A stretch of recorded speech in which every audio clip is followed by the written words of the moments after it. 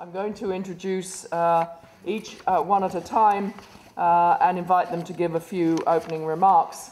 And I would like to uh, start with uh, uh, Dr. Mehdi Al-Lak, who is the Deputy Minister of Planning and also head of the um, Central Statistics Office here in Iraq.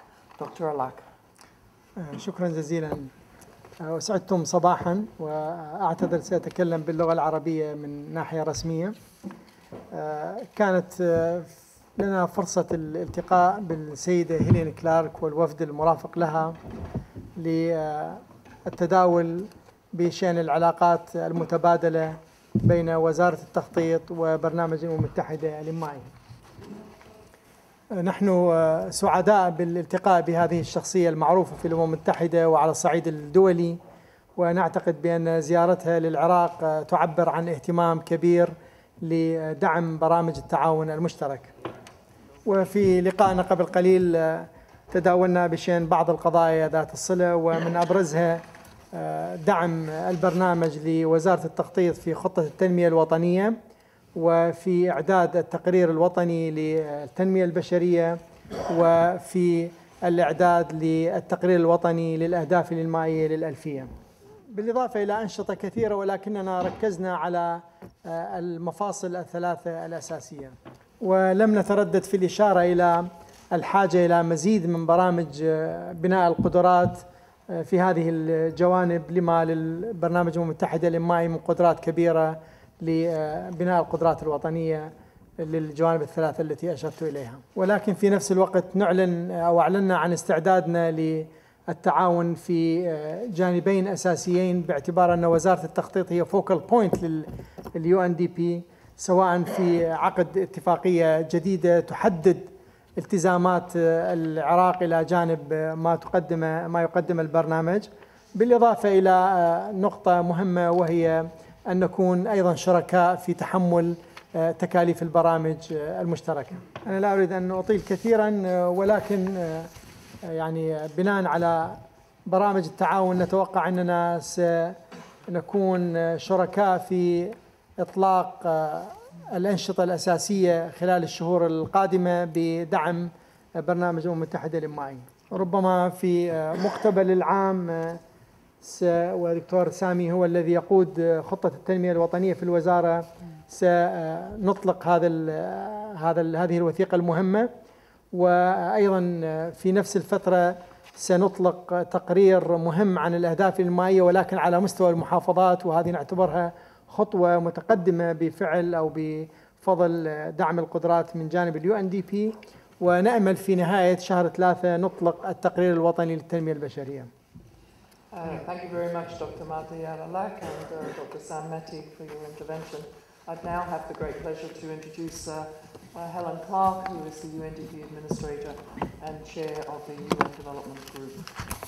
Uh, thank you to the resident coordinator, uh, Jackie Badcock, and to the two uh, Deputy Ministers of Planning who've joined us at the press conference today. This is right at the end of the brief uh, two and a half day visit I've been paying to Iraq to give support and visibility to the work of the UNDP and the UN country team of, of agencies, funds, and programs here. In the course of the visit, I've met with the Deputy Prime Minister, also Minister of Energy, uh, Foreign Minister, uh, obviously our two Deputy Ministers of, of Planning just now. Uh, the Speaker and other uh, high officials at the Iraqi Parliament, and uh, other representatives of civil uh, society and uh, Human Rights uh, Commission. I'm really quite impressed with the broad UNDP program here across all the elements of our mandate. we do have a mandate from our governing board to work across governance. Uh, poverty reduction, MDGs, environment, uh, energy, uh, sustainable development, and also recovery of crisis from crisis and conflict, and on cross-cutting issues like gender. All of these are relevant to our work in Iraq. So across electoral support, public sector modernisation, rule of law, establishment of the National Human Rights uh, Commission, uh, poverty reduction, uh, reconstruction of basic services, uh, so many areas UNDP has been involved in, which are part of the, the building of the new Iraq.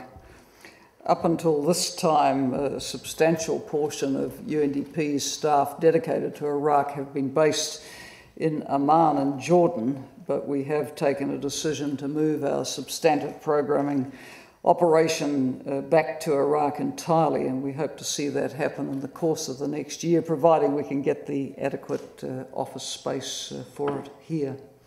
We've been discussing with our friends from the Planning Ministry this morning uh, all the cooperation we have with uh, them, uh, work on the new National Development Plan, and of course, it's our desire to see all our UN country team uh, aligned with the objectives uh, in that plan. We're looking forward to the publication of the National Human Development Report on the theme of youth and youth potential. And then very important work has been done here on the multidimensional poverty index, uh, enabling uh, Ministry of Planning and all of us who work with it to focus on where the particularly intense areas of deprivation are in the country and then uh, hopefully really uh, focus on progress in those areas. And then there's uh, also a new national uh, report uh, coming on Iraq's progress towards achieving the Millennium Development Goals, and 2015 is a very relevant target date uh, for those. The current status on the MDGs is obviously a, a rather a mixed picture because Iraq is, is coming out of a period of, of, many years of deprivation of its, of its people. But without doubt, we're seeing progress on reduction of extreme poverty, uh, of uh, child and maternal mortality uh, rates. We see malaria incidence at near zero. You know, the, these are important uh, markers of progress. But clearly, there's work to do. I have had a, a very interesting meeting this morning with uh, senior uh, representatives of women's uh, organisations, and we're very keen to support the political, economic, and social empowerment of women in the country.